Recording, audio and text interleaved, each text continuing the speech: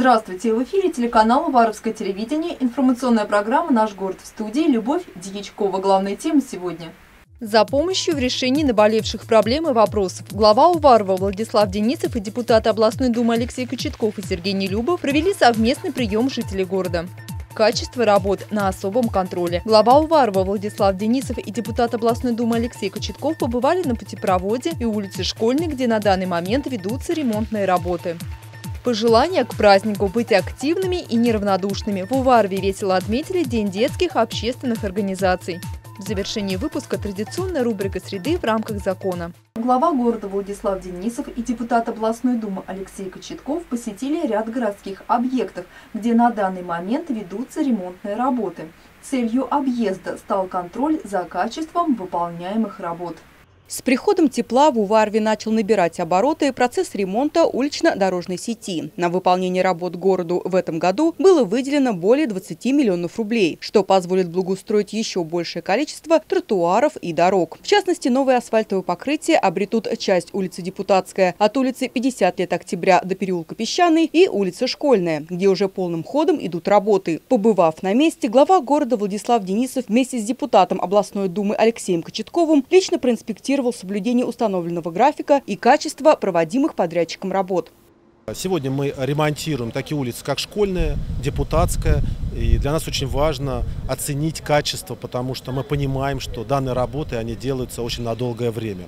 Выделено на эти цели, на ремонт э, тротуаров и дорог более 20 миллионов рублей. И около 5 миллионов э, рублей – это средства, которые будут освоены в рамках ремонта автодороги на улице Школьной и на улице Депутатской.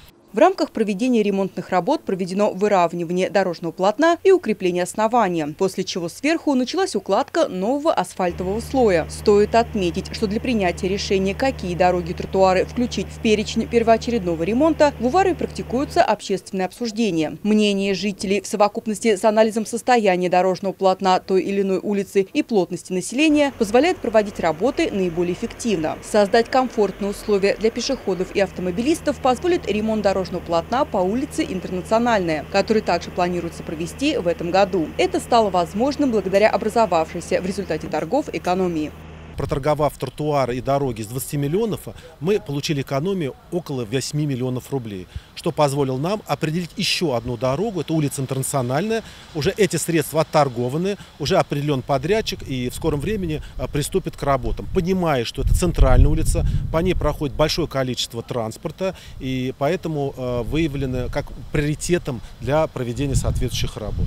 Наряду с асфальтированием в этом году планируется еще провести щебенение семи участков дорог с грунтовым покрытием. Что касается пешеходных дорожек, то обновленный облик уже обрел тротуар по улице 50 лет октября. Сейчас идут работы на участке тротуара по улице Петра Ширяева в районе спуска с горы. В ходе объезда города Владислав Денисов и Алексей Кочетков также оценили качество проводимого ремонта на путепроводе, который связывает северную и южную части Уварова, а также является транзитной дорогой в соседние районы и регионы регионы. Учитывая значимость объекта и его предаварийное состояние, на реконструкцию моста, которая проводится компанией «Мостострой», было направлено 173 миллиона рублей. На сегодняшний день ремонтные работы находятся на финишной прямой. Улучшить техническое состояние конструкции путепровода и его пропускную способность позволило расширение проезжей и пешеходной части, замена и усиление опоры балок.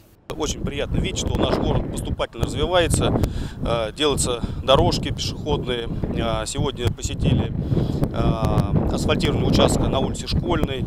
И сейчас находимся на путепроводе, который мы планируем сдать до 1 июня текущего года. По сути, здесь остались косметические работы. Это работы, связанные там, с асфальт-бетонным покрытием и барьерным ограждением. И, по сути, сдача работ в эксплуатацию. Отмечается, что проведенный капитальный ремонт моста позволит не только увеличить грузоподъемность и срок службы данного объекта еще на 30 лет, но и сделать его более комфортным и безопасным для проезда жителей и гостей города. Ирина Пивоварова, Александр Трегубов, Виктор Викторов. Наш город. В сквере Согласия и примирения отпраздновали День детских общественных организаций, который отмечается 19 мая. Мероприятие объединило активистов, входящих в первичные детские организации лицея и кадетского корпуса. Ребят поздравили почетные гости. Глава города Владислав Денисов, председатель городского совета, депутаты областной думы и другие почетные гости. Детская общественная организация «Фортуна» существует в городе почти четверть века. В нее входит первичное объединение из лицея и кадетского корпуса. Раз в году активисты собираются все вместе на свой главный праздник – Торжественная линейка, посвященная Дню детских организаций, прошла в сквере Согласия и примирения, где каждая делегация приветствовала собравшихся девизом. Наша детская организация «Радуга» наш девиз «Мы как радуга и цвета неразлучны никогда». Обращаясь к присутствующим, глава города Владислав Денисов пожелал всегда занимать активную жизненную позицию, неравнодушно относиться к тому, что происходит в городе, в стране с удовольствием вспоминает те времена, когда сам участвовал в общественных детских организациях. Называлось это «Пионерия». Мы так же, как и вы, кричали речевки, помогали ветеранам. Я уверен, что вы очень активно трудитесь на благо нашего города. Поэтому я вам желаю новых идей, новых побед, побольше творчества. Ну и, конечно, никогда не болеть и любить и уважать наш город. С праздником! В адрес ребят звучали напутствия от почетных гостей. Быть и дальше такими же яркими и креативными. Добивайтесь поставленных целей, приветствовала виновников торжества Татьяна Высочкина, всю жизнь посвятившая воспитанию молодого поколения.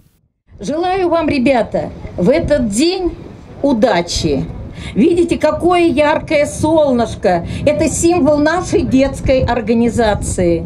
И пусть его лучи и искорки согревают вас, несут вам добро, удачу. С праздником вас!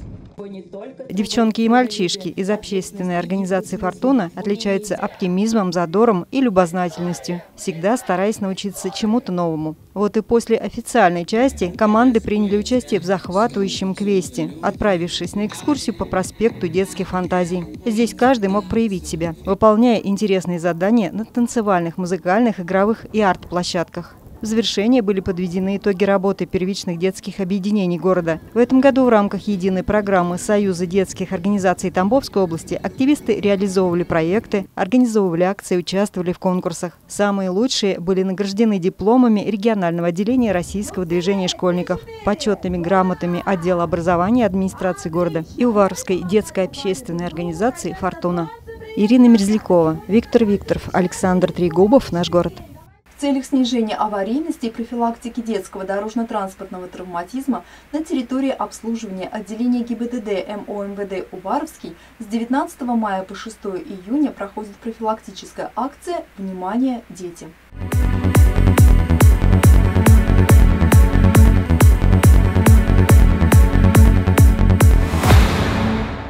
На территории обслуживания отделения ГИБДД Межмуниципального отдела полиции Уваровский за 4 месяца зарегистрировано одно ДТП с участием ребенка, в котором два несовершеннолетних пострадали. В целях снижения аварийности и профилактики детского дорожно-транспортного травматизма с 19 мая по 6 июня на автомобильных дорогах пройдет акция «Внимание, дети!». Исходя из статистических данных и многолетних наблюдений, количество автоаварий с участием школьников возрастает в конце учебного года и в период начала летних каникул.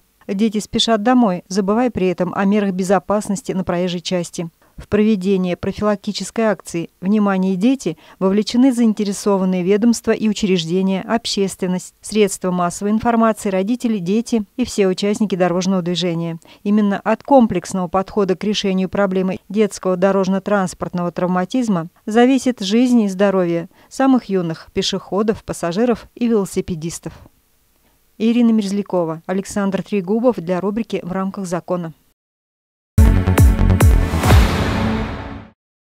Покушение на убийство, то есть умышленное причинение смерти другому человеку, при котором преступный умысел не был доведен до конца по независящим от злоумышленника обстоятельствам. По обвинению в совершении данного преступления перед судом предстанет мужчина 1976 года рождения, который в марте текущего года вместе со своей женой переехал из Московской области в районный поселок Инжавина для трудоустройства. Но уже спустя несколько дней его супруга передумала и решила вернуться обратно в Московскую область, о чем сообщила мужу. В результате между супружеской парой произошел словесный конфликт, в ходе которого мужчина сообщил своей второй половине, что может ее убить. Но женщина не восприняла данные слова всерьез. Как оказалось, зря. После ссоры у мужчины на почве ревности возник умысел, направленный на убийство своей жены.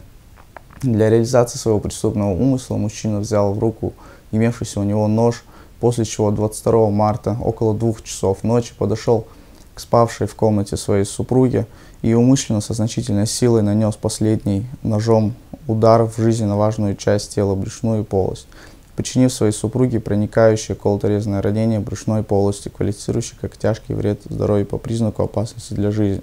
Проснувшись от боли супруги, удалось по телефону позвонить проживающим по соседству своему знакомому, который, прибыв сразу же к ней в квартиру, вызвал скорую медицинскую помощь, госпитализировавшую ее в Токбус Инжанинской ЦРБ, а затем в Токбус Уваровской ЦРБ.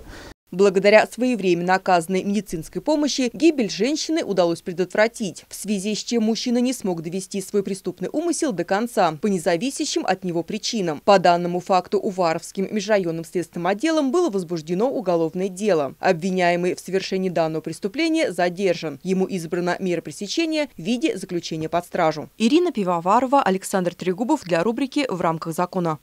На